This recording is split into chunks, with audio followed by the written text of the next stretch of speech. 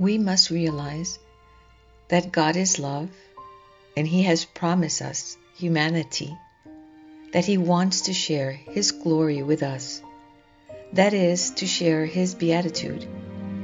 He wants us to live already in this life the sweetness of His good fortune. That is why in Genesis it says, Let us make them in our own image and likeness. That is to say, in the image of love. His love is so great that He wanted to share the creation of humanity with us and allow us to conceive children and gave women the opportunity and privilege of carrying children for nine months so she could become closer to her Creator. Childbearing is a spiritual encounter with God. He wants to share with us the opportunity to love one another through sharing and caring for each other. It is not by chance that He has given more material things to some individual over others. That is so we may have the opportunity to love, care, and share the gifts we have received. Otherwise, if everyone had the same amount, what opportunity would there be to be generous and charitable? None. If our cities are full of hunger and the poor, it is no one's fault but ours, because we have not learned to be loving and charitable. The problem is not someone else's, it is ours.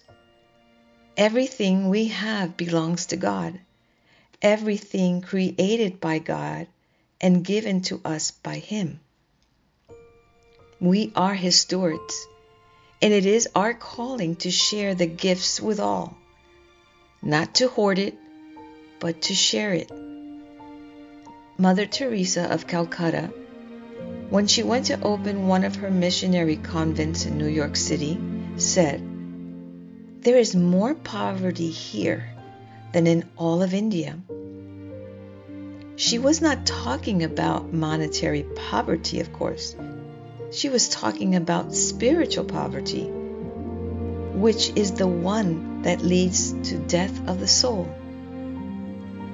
God intended us to be creatures of love in his likeness, to be compassionate, merciful, patient, faithful, loving, and just.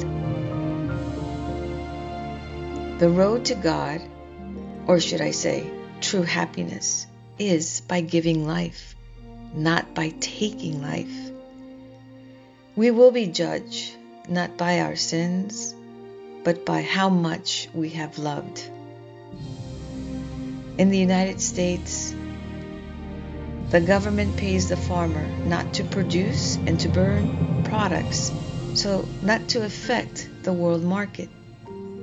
This food that could feed millions of people in Africa and other places in the world where there is hunger and pestilence. If there is poverty and hunger in the world, if there is suffering in the world, we are a part of that problem. Let us not contribute to it through it our own selfishness and self centeredness. Our God is a God of love and of life. It is very easy to blame Him for the fruit of our own sin while we enjoy our portion of the gift and your neighbor's portion too.